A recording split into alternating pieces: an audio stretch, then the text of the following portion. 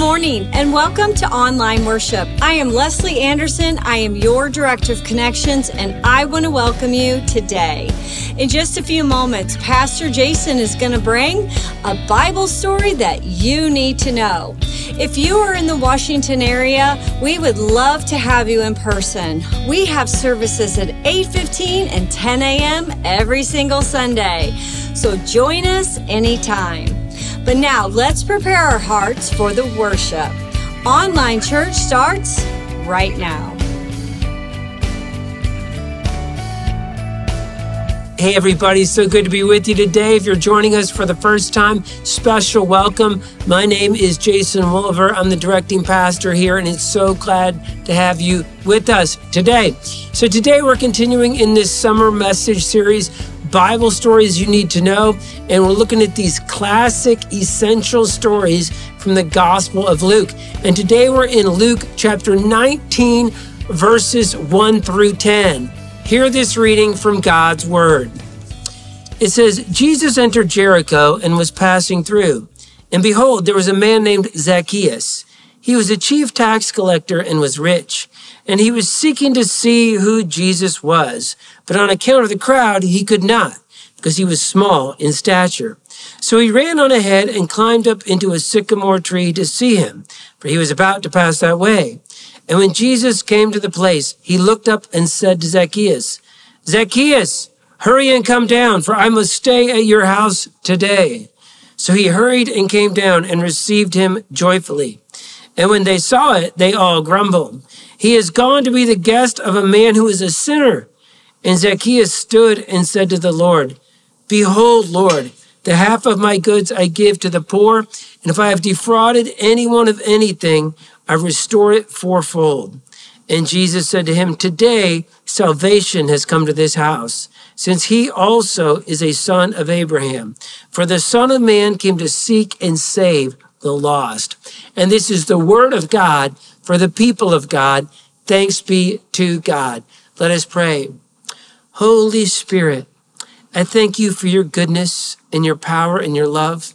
So I pray that you would fill us with the love for the Lord Jesus, that you would open our hearts to hear from the Word of God today, that you would convict us, challenge us, and maybe even save some of us from hell, from our sins, through faith and repentance. In Jesus' name, amen. So my mother, Carolyn Wolliver, was a huge fan of Bible songs. This Little Light of Mine, Joshua Fought the Battle of Jericho, all those songs. But one of her favorites was this one. Sing it with me if you know it.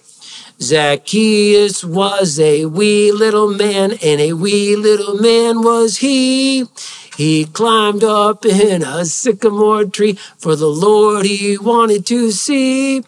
But as the Savior passed his way, he looked up in that tree and he said, Zacchaeus, you come down, for I'm coming to your house today.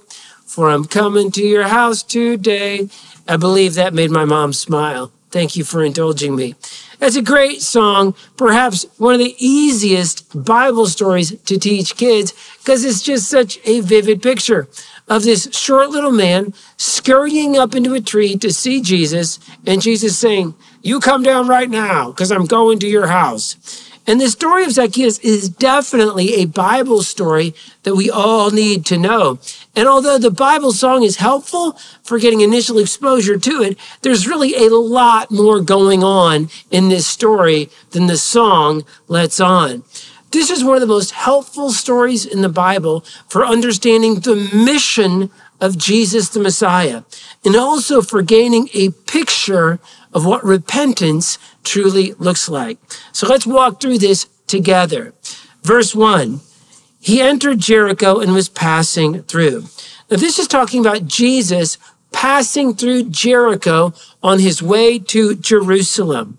A turning point in the Gospel of Luke is chapter 9, verse 51, where it says, As the time approached for Jesus to be taken up to heaven, he resolutely set out for Jerusalem. This means that Jesus knew that things would be coming to a head for him very soon. He would go to Jerusalem for the Passover where he would be killed and be dead in the grave, but he would rise from the grave and ascend back to heaven, mission accomplished. And he knew all those things lay ahead and he embraced his destiny and started the fateful journey toward Jerusalem.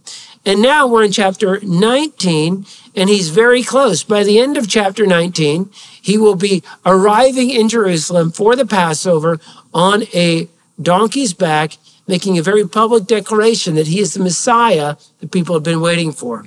And so, in order to get there, he's got to pass through this city of Jericho, which is about 18 miles away from Jerusalem.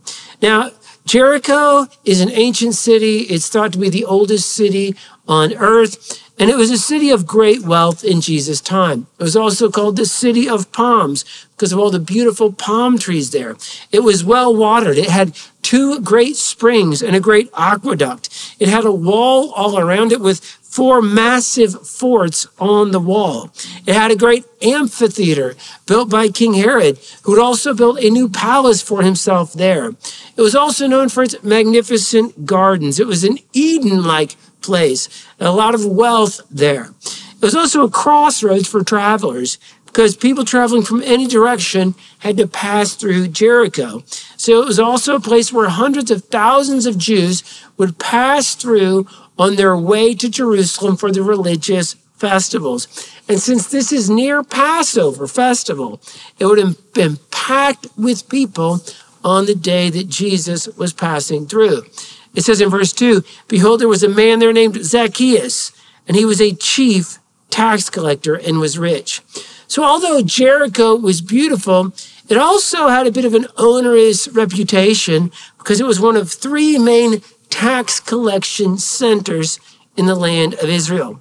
People traveling through Jericho from any direction had to pay poll taxes in order to pass through. And people basically from age 15 onward could be taxed for everything from their cards to the wheels on their cards to the goods they were carrying on the carts. And so tax collectors were not going to be popular among the people of the city or travelers. But tax collectors were also considered traitors because these were Jewish people who had purchased a tax franchise from the Romans. And if you had purchased one of these franchises, you basically could tax people whatever you wanted with no recourse. You had to pay Rome what it was due, but then you could charge whatever you wanted on top of that.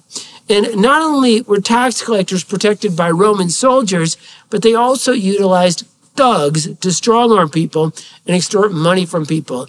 So it's kind of like the collectors in the mafia, very mafia like. It's how you should see it. And it says Zacchaeus was a chief tax collector.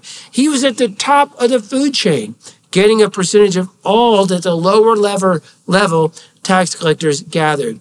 It's no wonder he was rich, and I'm sure he was not liked. But this life of sin and self centeredness clearly wasn't satisfying him because something deep within him drew him to Jesus.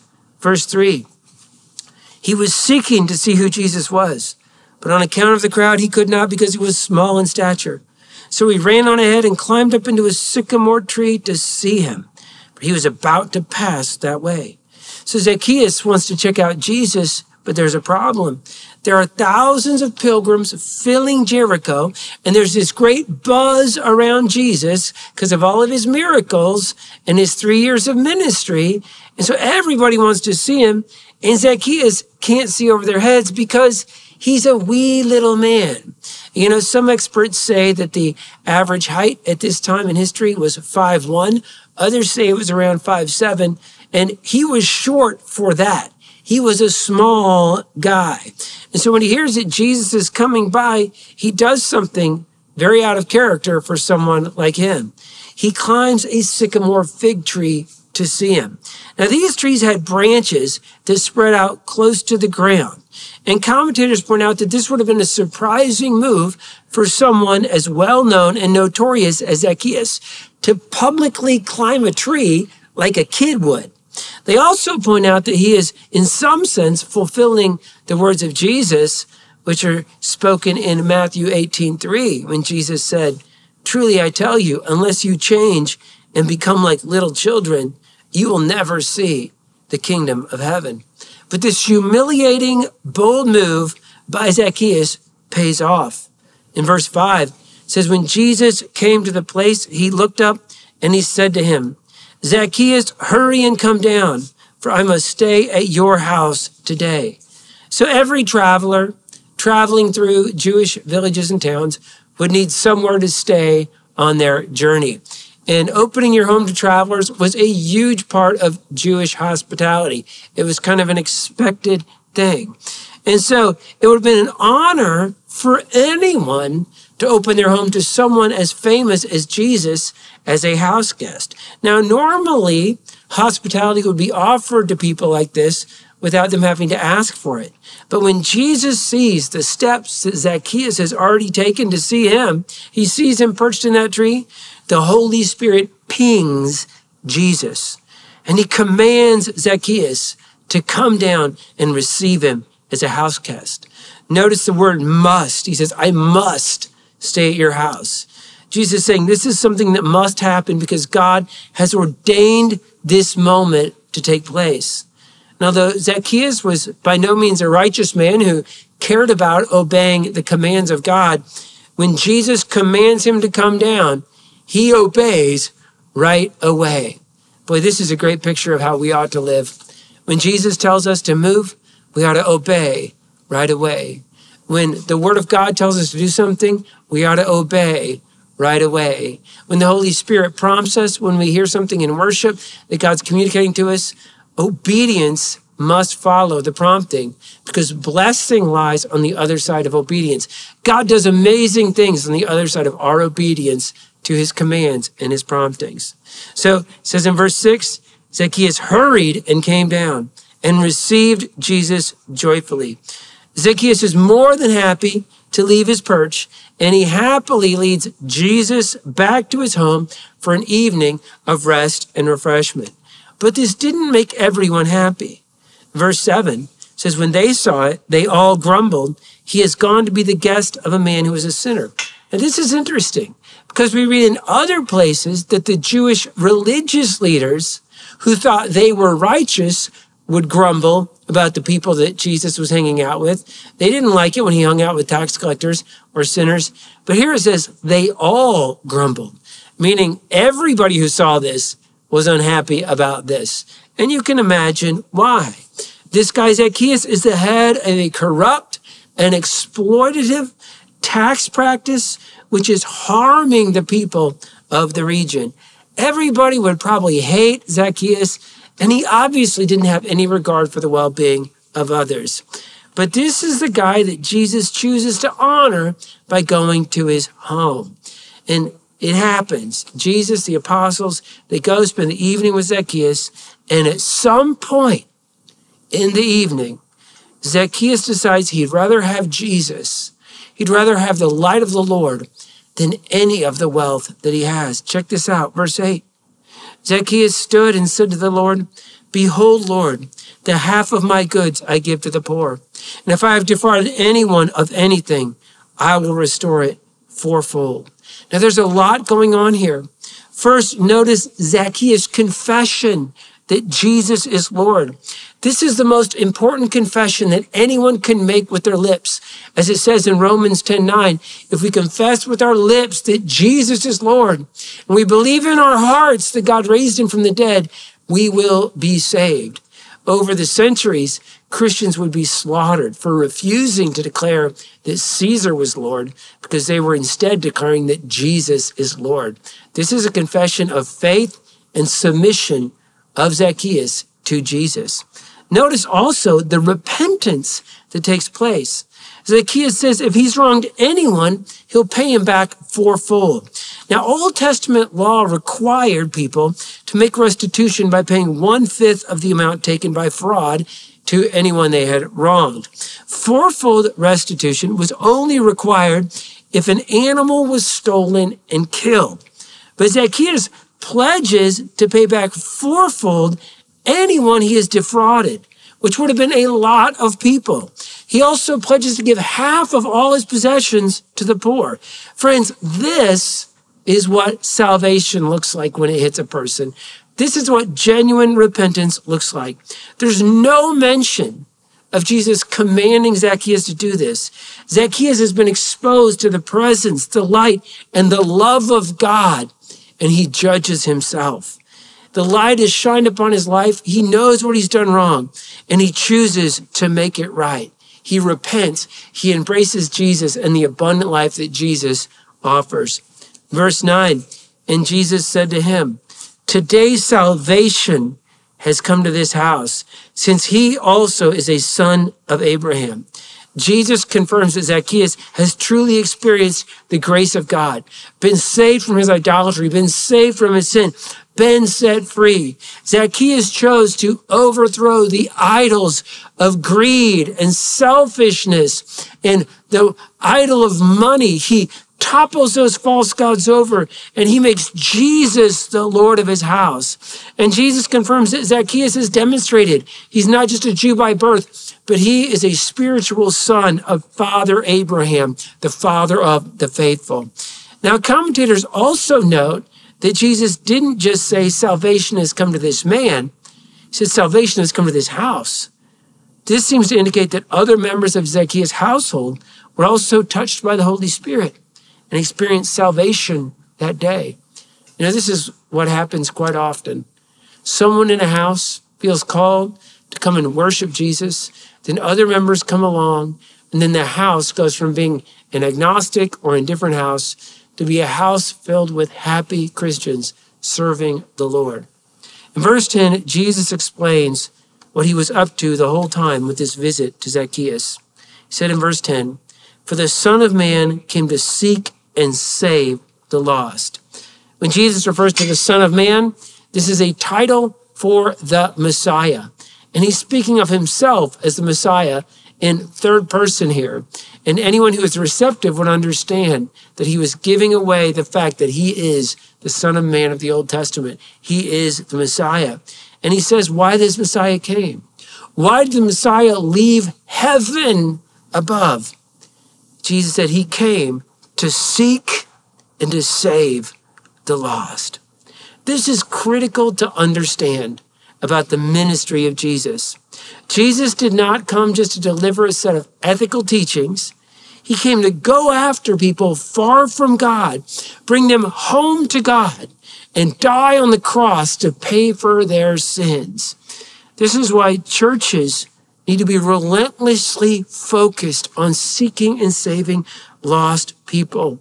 Churches that don't have this as a primary focus are terribly out of sync with the heartbeat of heaven. They aren't bringing heaven the joy that they're meant to bring. Jesus said there's more rejoicing in heaven over one sinner who repents than over 99 righteous persons who don't need repentance. This is why, as hard as it is to keep focusing on evangelism and helping our unchurched neighbors become Christians, we cannot give up. We cannot throw in the towel. We must keep pushing ourselves and challenging ourselves. This is why we're going to do something new, try something new this fall.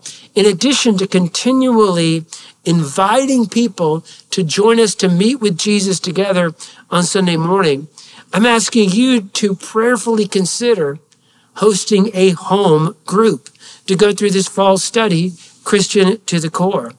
Uh, and so this is a way that many people are reaching people all over the world. They're reaching people who aren't ready to return to church.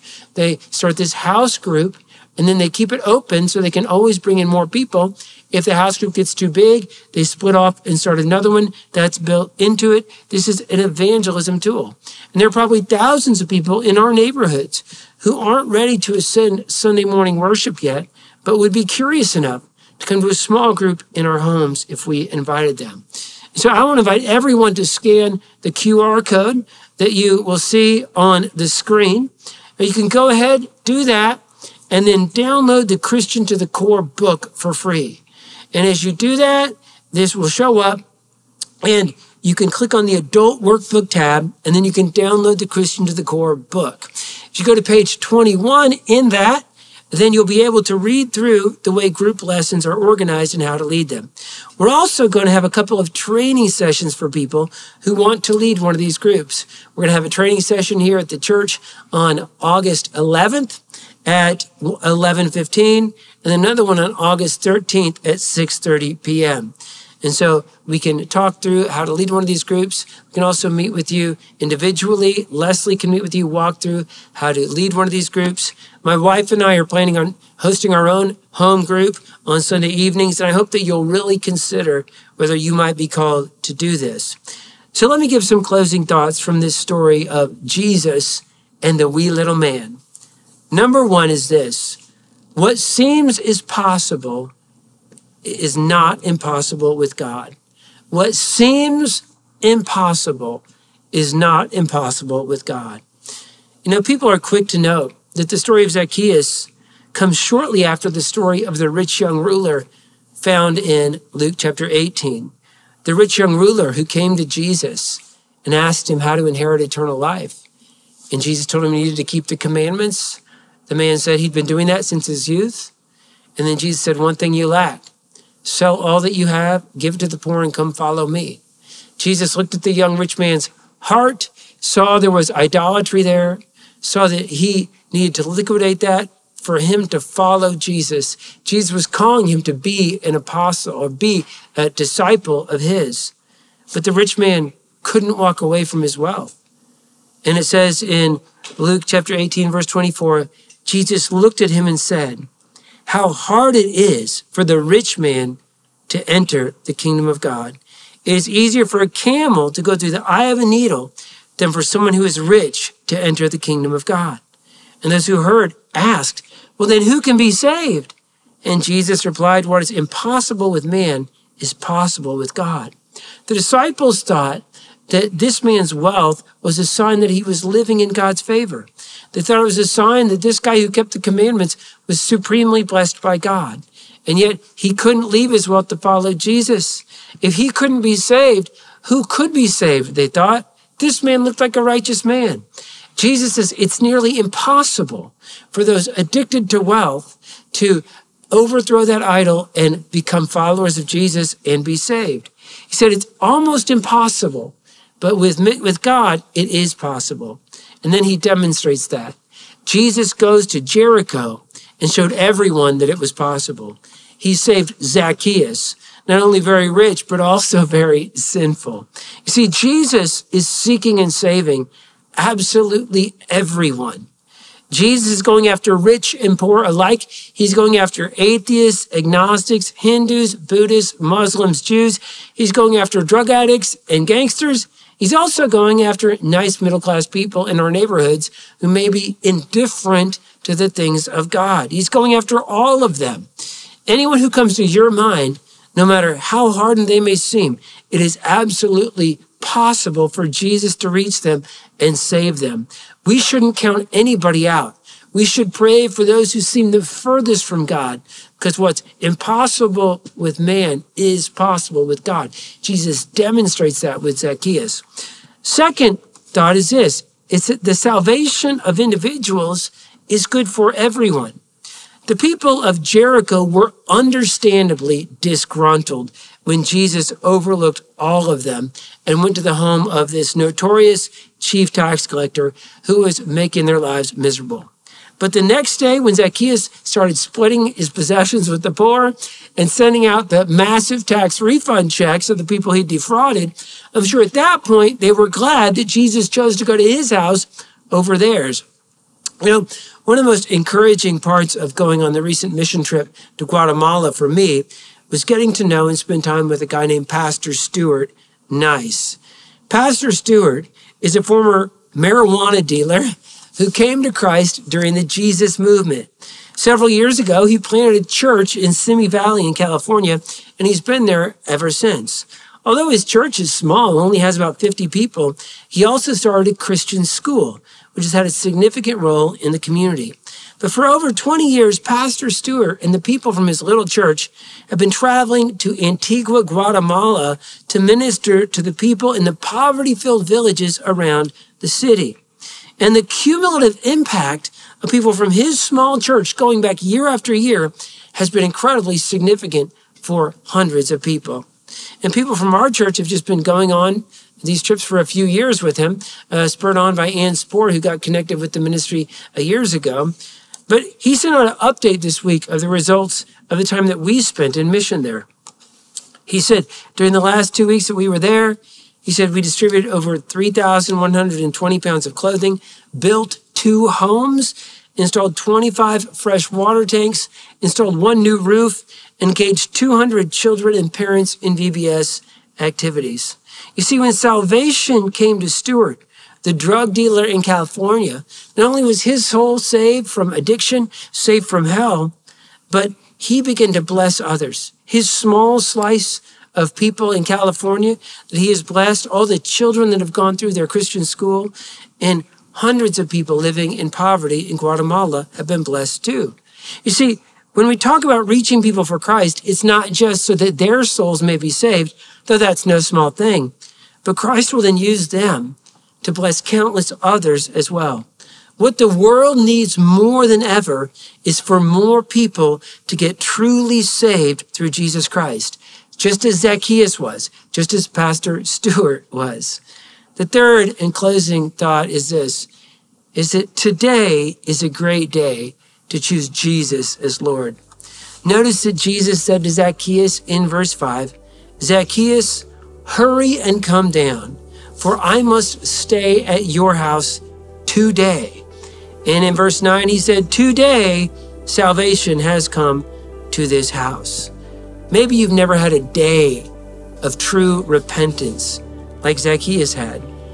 A day when you decided to truly respond to the Lord, make him the Lord of your life, even if it resulted in big lifestyle changes about your finances, your future, or your sex life. A day when you decided that Jesus is more important than everything else, and living in friendship with him is better than everything else.